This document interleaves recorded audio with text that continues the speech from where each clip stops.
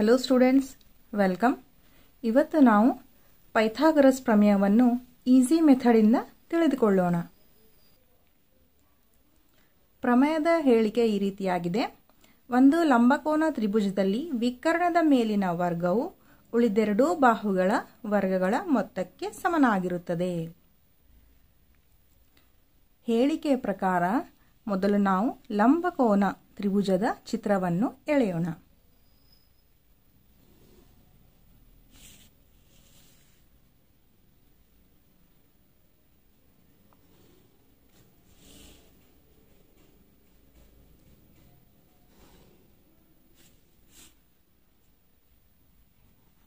A B C ಇಲ್ಲಿ B ಕೋನ ತೊಂಬತ್ತು ಡಿಗ್ರಿ ಆಗಿದೆ.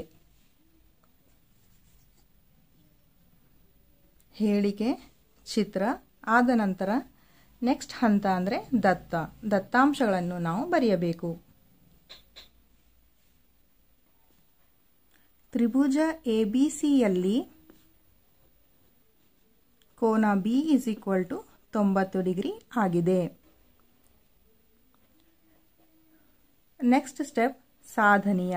ನಾವು ಏನನ್ನು ಸಾಧಿಸಬೇಕು, ಅದನ್ನು ನಾವಿಲ್ಲಿ ಬರೆಯಬೇಕು.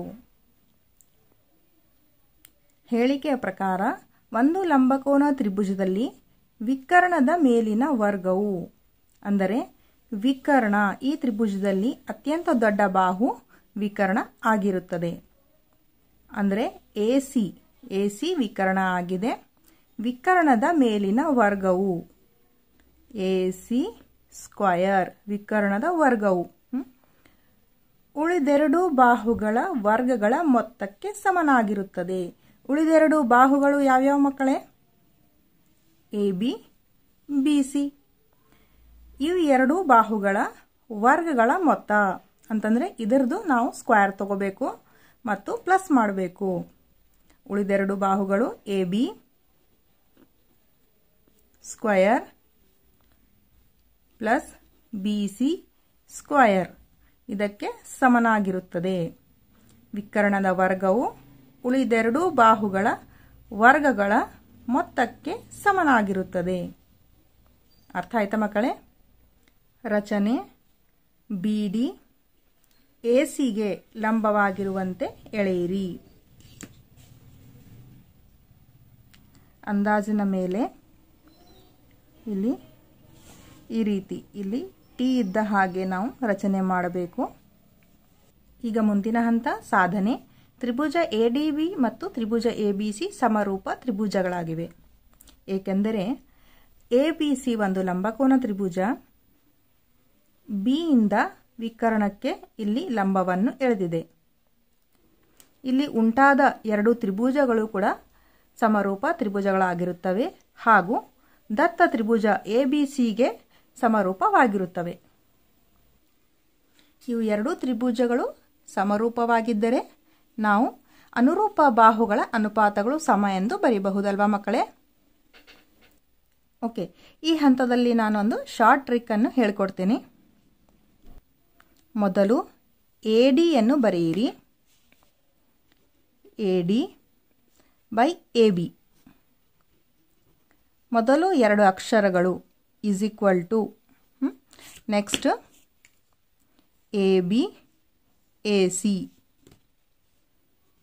A B by A C ನೋಡಿ ಮಕ್ಕಳೇ A D next A B ಮೊದಲ ಎರಡು ಅಕ್ಷರಗಳು. ಅನುಪಾತ ಬರೆಯಿರಿ.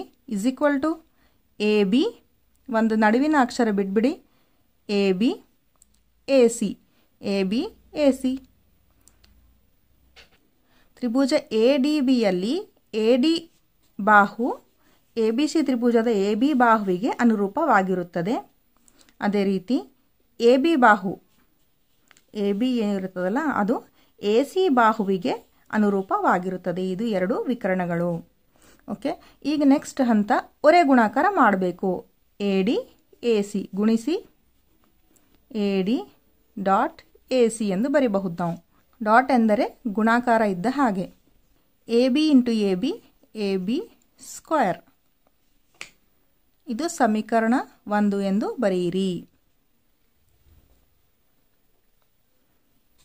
ಅದೇ ರೀತಿ ತ್ರಿಭುಜ B D C okay B D C ಸಮರೂಪ ತ್ರಿಭುಜ ಎ ಬಿ ಸಿ ಈಗ ನಾವು ಇದೇ ರೀತಿ ಅನುಪಾತಗಳು ಬರೀಬೇಕಲ್ವಾ ಮಕ್ಕಳೇ?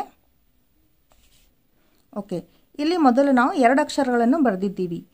ಇಲ್ಲಿ ಕೆಳಗೆ ಏನು ಮಾಡಬೇಕು? ಲಾಸ್ಟ್ ಎರಡು ಅಕ್ಷರಗಳು ಡಿ ಸಿ ಮತ್ತು ಬಿ ಸಿಯ ಅನುಪಾತ ಬರೆಯಿರಿ. D C by B C equal to B C by A C ನಡುವಿನ ಅಕ್ಷರ ಬಿಡಬೇಕು. ನೋಡಿ ಮಕ್ಕಳೇ. D C B C D C by B C is equal to ಒಂದು ಅಕ್ಷರ ಬಿಡ್ಬಿಡಿ ನಡುವಿಂದು. B C A C B C by A C ಈಗ ಮತ್ತೆ ಹೊರೆ ಗುಣಾಕಾರ ಮಾಡಿ. D C into A C B C into B C B C square ಇದು ಸಮೀಕರಣ ಎರಡು ಆಗಿರುತ್ತದೆ. ಈಗ ಸಮೀಕರಣ ಒಂದು ಮತ್ತು ಎರಡು ಪ್ಲಸ್ ಮಾಡಬೇಕು.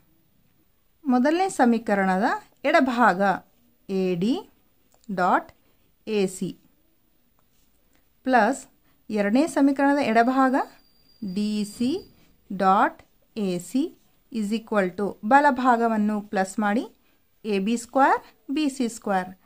A B square plus B C square. ಈಗ ಗಮನಿಸಿ ಮಕ್ಕಳೇ, A D, A C D C A C ಇವು ಎರಡೂ ಪದಗಳಲ್ಲಿ ಎ ಸಿ ಎ ಸಿ ಸಾಮಾನ್ಯವಾಗಿದೆ. ಸೊ ಎ ಸಿ ನಾನು ಕಾಮನ್ ತಗೋತಾ ಇದ್ದೀನಿ. ಎ ಸಿ ಬಿಟ್ಬಿಡಿ. ಏನು ಉಳಿಯುತ್ತದೆ? ಎ ಡಿ ಪ್ಲಸ್ ಇಲ್ಲಿ ಡಿ ಸಿ ಎ ಸಿ ಹೊರಗೆ ಬಂದಿದೆ. ಸೊ ನಾವು ಎ ಸಿವನ್ನು ಬಿಡಬೇಕು. ನೆಕ್ಸ್ಟ್ ಎ ಡಿ ಮತ್ತು ಡಿ ಸಿ ಬರೀಬೇಕು. Is equal to same as it is ಬರೆಯಿರಿ ಚಿತ್ರವನ್ನು ಗಮನಿಸಿ ಮಕ್ಕಳೇ. A D plus D C A D ಮತ್ತು ಡಿ ಸಿ ಸೇರಿಸಿದರೆ ನಮಗೆ ಎ ಸಿ ಸಿಗುತ್ತದೆ. ಓಕೆ ಎ ಡಿ ಮತ್ತು ಡಿ ಸಿ ಈ ಎರಡನ್ನೂ ಸೇರಿಸಿದಾಗ ನಮಗೆ ವೀಕರಣ ಎ ಸಿ ಬಾಹು ಇದು ಸಿಗುತ್ತದೆ. So A D plus D C ಬದಲಾಗಿ ನಾವು ಎ ಸಿಯನ್ನು ಬರೀಬಹುದು. ಈಸ್ ಈಕ್ವಲ್ ಟು ಸೇಮ್ ಇದು. ಆ್ಯಸ್ ಇಟ್ ಈಸ್ ಬರೆಯಿರಿ. A C into A C A C square is equal to A B square plus B C square okay ಪ್ರಮೇಯವನ್ನು ಸಾಧಿಸಿದೆ. So ವಿದ್ಯಾರ್ಥಿಗಳೇ, ಮೊದಲು ನಾವು ಹೇಳಿಕೆ, ಆದಮೇಲೆ ಚಿತ್ರ ನೆಕ್ಸ್ಟ್ ದತ್ತ, ಸಾಧನೆಯ ರಚನೆ, ಆದಮೇಲೆ ಸಾಧನೆ. ಈ ಹಂತಗಳು ಫಾಲೋ ಮಾಡಬೇಕು. ಈ ರೀತಿ ಪ್ರಮೇಯ ಬರೆದ್ರೆ ನಿಮಗೆ ಫುಲ್ ಮಾರ್ಕ್ಸ್ ಸಿಗುತ್ತದೆ. ಇದು ಎಕ್ಸಾಮ್ನಲ್ಲಿ ನಾಲ್ಕು ಮಾರ್ಕ್ಸ್ ಅಥವಾ ಐದು ಮಾರ್ಕ್ಸಿಗೆ ನಿಮಗೆ ಕೇಳಬಹುದು. ಕೆಲವೊಂದು ಇಂಪಾರ್ಟೆಂಟ್ ಪಾಯಿಂಟ್ಸ್ ಇಲ್ಲಿ ಹೇಳಲಿಕ್ಕೆ ಇಷ್ಟಪಡ್ತೇನೆ. ಭಾಳಷ್ಟು ಸರ್ತಿ ನಾನು ನೋಡಿದ್ದೇನೆ, ಚಿತ್ರವನ್ನು ವಿದ್ಯಾರ್ಥಿಗಳು ಪ್ರಮೇಯದ ನಂತರ ಹಾಕ್ತಾರೆ. ಅದು ಸರಿಯಾದ ವಿಧಾನ ಅಲ್ಲ, ಅದು ತಪ್ಪು ವಿಧಾನ, ಅದು ಝೀರೋ ಮಾರ್ಕ್ಸ್ ನಿಮಗೆ ಸಿಗಬಹುದು. ಪ್ರಮೇಯದ ಹೇಳಿಕೆ ಆದ ನಂತರ ನೆಕ್ಸ್ಟ್ ಚಿತ್ರನೇ ಇರಬೇಕು. ಚಿತ್ರದಲ್ಲಿ ಅಲ್ಫಾಬೆಟ್ಸ್ ಅನ್ನು ನೆನಪಿನಿಂದ ಫಸ್ಟ್ ಗುರುತಿಸಬೇಕು. ಅದು ಚಿತ್ರ ಇರಲಿಲ್ಲ ಅಂತಂದರೆ ನೀವು ಪ್ರಮೇಯ ಬರೆದ್ರೂ ಏನು ಯೂಸ್ ಇಲ್ಲ. ಅದಕ್ಕೆ ಮಾರ್ಕ್ಸ್ ಝೀರೋಸ್ ನಿಮಗೆ ಸಿಗುತ್ತದೆ. ಚಿತ್ರವನ್ನು ಸರಿಯಾಗಿ ಹಾಕಿ ನೀವು ಬೇರೆ ರೀತಿ ಈ ರೀತಿ ಚಿತ್ರ ಹಾಕಿದರೆ ನಿಮಗೆ ಮಾರ್ಕ್ಸ್ ಸಿಗಲ್ಲ. ಈ ರೀತಿ ಹಾಕಿದರೂ ಕೂಡ ಮಾರ್ಕ್ಸ್ ಸಿಗೋದಿಲ್ಲ. ನೀವು ಕರೆಕ್ಟಾಗಿ ಒಂದು ರೇಖೆಯನ್ನು ಎಳೆದು ಇದಕ್ಕೆ ಸ್ಟ್ರೇಟ್ ತೊಂಬತ್ತು ಡಿಗ್ರಿ ಇರುವ ಹಾಗೆ ಅಂದಾಜಿನ ಮೇಲೆ ಚಿತ್ರವನ್ನು ಹಾಕಿ ಅಥವಾ ಕೋನ ಮಾಪಕ ನೀವು ಬಳಸಬಹುದು. ಇದನ್ನು ಸೇರಿಸಿ ಎ ಬಿ ಸಿ ಎಂದು ಬರೆಯಿರಿ. ಮತ್ತು ಸ್ಕೇಲ್ನಿಂದ ಎಲ್ಲ ಚಿತ್ರವನ್ನು ಸ್ಕೇಲಿಂದನೇ ನೀವು ಹಾಕಬೇಕು. ಬಿ ಇಂದ ಡಿಗೆ ಒಂದು ಲಂಬ ರೇಖೆಯನ್ನು ಎಳೆಯಿರಿ. ಸೊ ಸ್ಟೂಡೆಂಟ್ಸ್ ಈ ಪ್ರಮೇಯವನ್ನು ಐದು ಬಾರಿ ಪ್ರಾಕ್ಟೀಸ್ ಮಾಡಿ ಮತ್ತು ನೀವು ತಿಳಿದುಕೊಂಡು ಸ್ವಂತಾಗಿ ಬರೆಯಿರಿ. ಪ್ರಾಕ್ಟೀಸ್ ಮಾಡ್ತಿರಲ್ವಾ ಮಕ್ಕಳೇ? ಓಕೆ ನನ್ನ ಹೆಸರು ಅರ್ಷಿಯಾನಾಸ್ ಫ್ರಮ್ ಗುಲ್ಬರ್ಗಾ. Thank you